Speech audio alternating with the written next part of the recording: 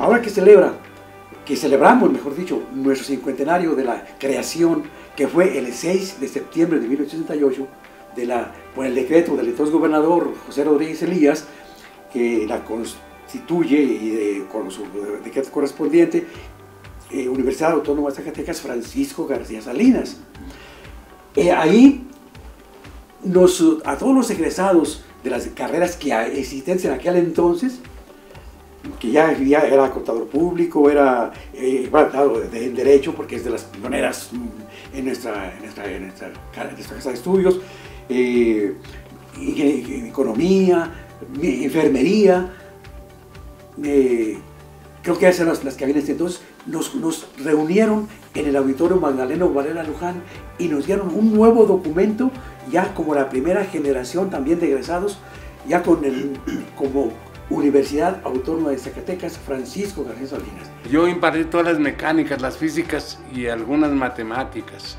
Y les impartí mecánica de fluidos. También mecánica aplicada. Mecánica No, no, en mecánica de fluidos. No, eh, ese era ya en el tercer año de, de la carrera. Eh, eh, era, era mecánica eh, analítica.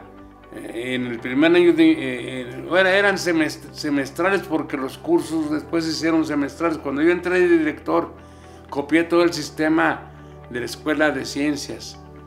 Y el sistema anual desapareció y se puso sistema, no sé si todavía tengan el sistema Semestral. semestral. Me dijo Carlos que ellos sí, en ingeniería civil, pero eh, era con la idea de que los muchachos perdieran nomás un semestre, el que reprobaba una materia, nomás eh, durara un semestre reprobado, no todo el año.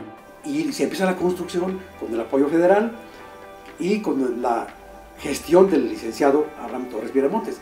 Entonces empieza la construcción y en el 62 se vienen ya topógrafo, hidrógrafo, ingeniero minero, ingeniero civil y la carrera nueva que fue ingeniero mecánico electricista. Ingeniero mecánico, pues estaban juntas. ¿Por qué? ¿Por qué estaban juntas? Porque siempre hemos tenido como referente a nuestra máxima casa de estudios nacional, que es la UNAM. Y los programas de estudio también derivaban de, de la UNAM y los adoptamos aquí como tales. la, la acreditación.